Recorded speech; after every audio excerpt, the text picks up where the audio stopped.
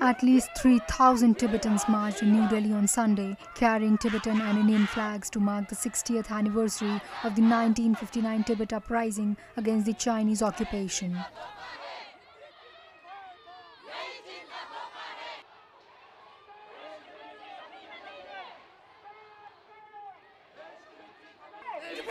They also carried a portrait of the Dalai Lama while occasionally chanting slogans wishing him a long life.